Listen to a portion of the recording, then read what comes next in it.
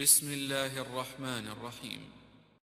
شهر رمضان الذي أنزل فيه القرآن هدى للناس وبينات من الهدى والفرقان.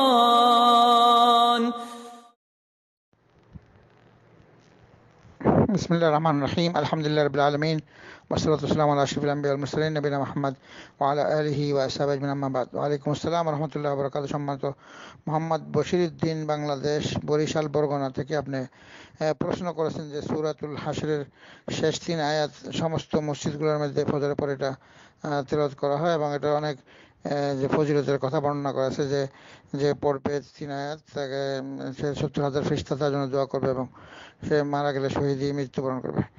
এই হাদিসটা তিরমিজিতে বর্ণনা করা হয়েছে এবং মুসনাদ আহমদে এবং বিভিন্ন অন্যান্য গ্রন্থে কিন্তু সমস্ত মহাদিসগণের মধ্যে ঐক্যমত রয়েছে যে হাদিসটা পরিপূর্ণ জয়ীফ, দুর্বল। দুর্বল হাদিস যার উপর আমল করা জায়েজ নেই কারণ সমস্ত মহা, হাদিস বিশেষজ্ঞরা একমত যে হাদিসটা জয়ীফ। জয়ীফেরও আমল করা যাবে না। কারণ হাফিজ ইবিন হাজার আসকালানি উনি বলেছেন যে, এই হাদিসে যে বর্ণনাকারী যে রয়েছে সে শিয়া এবং সে তার সে তার যে বুদ্ধি ঠিক ছিল না।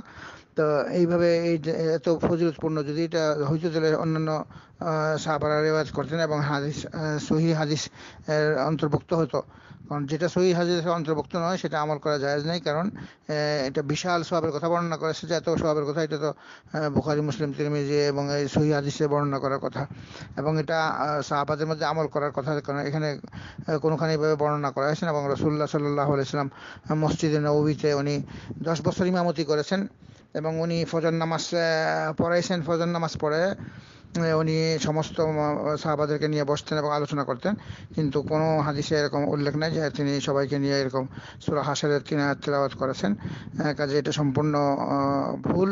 এবং এটা সঠিক না এটা আমল করা জায়েজ নেই কারণ যেটা সঠিক না সেটা আমল করা জায়েজ নেই এবং কেউ যদি বলে যে আমল করতে হবে সেটা অনেক ইসলামের বিপরীত কথা কারণ রসুল্লাহ সাল্লাম থেকে যে আদর্শ প্রমাণিত হবে সহি হাদিস দ্বারা সেটাই আমল করতে হবে। এখানে মা কালিবনে ইয়াসার আহ, একজন সাবি দ্বারা রেওয়ায়ত করা হয়েছে হাদিসটা।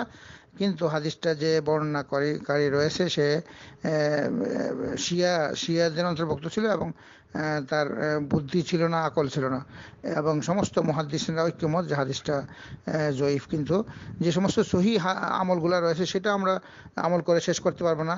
সহি হাদিসগুলো যেগুলো আছে, যেগুলো সকাল সন্ধ্যার জিকির এবং সবচেয়ে পবিত্র আল্লাহর কাছে যে প্রিয় বাক্য চারটা সুবাহান আল্লাহ আলহামদুলিল্লাহ রাহিল্লাহ এগুলো পড়া এবং সুবাহান